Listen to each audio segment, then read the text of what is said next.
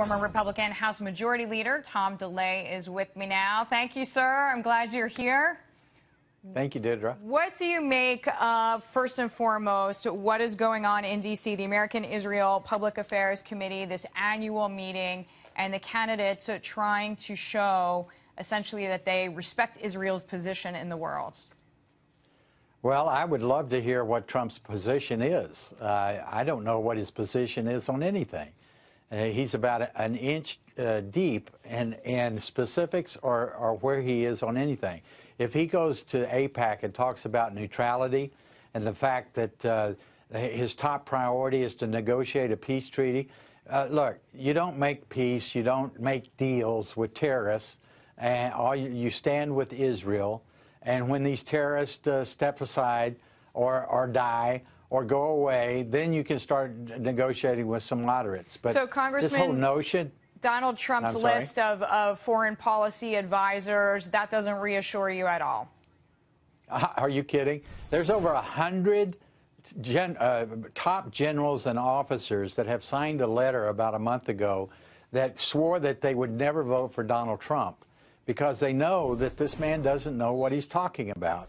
I mean, look what it was about Cuba when you asked uh, Sam Clovis about, about Cuba.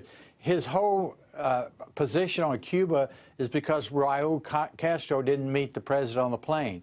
What about the fact that they're oppressive dictators, that they have oppressed their people for 80 years, that they have people imprisoned and kill uh, people uh, just on a whim?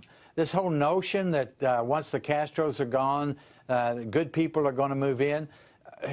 Castro's uh, son and son-in-law are already taking over and running most of the government, and they're going to step right in. This, that's what Trump ought to be talking about, not the fact that Raul didn't go meet the president the, on the tarmac. It just shows how shallow he is and how he doesn't know what he's talking about. Congressman, how do you see Cuba, and it's something I brought up with Sam Clovis, but this idea that China has been doing pretty sizable deals with different countries in the Caribbean and just kind of getting closer and closer to where we are. As I mentioned, 300 million in Jamaica, 200 million on a few other islands, part of this so-called cabbage strategy.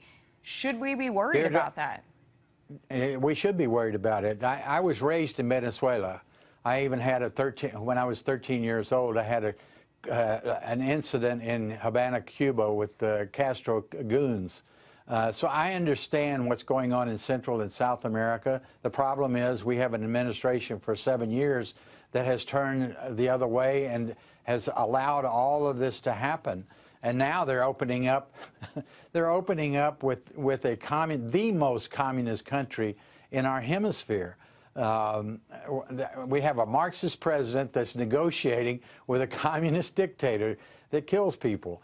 Uh, we have got to get somebody that knows what they're talking about to be president of the United States so that they can set a policy for this hemisphere, particularly in the Caribbean and particularly in Central America, or we're going to be in a world of hurt.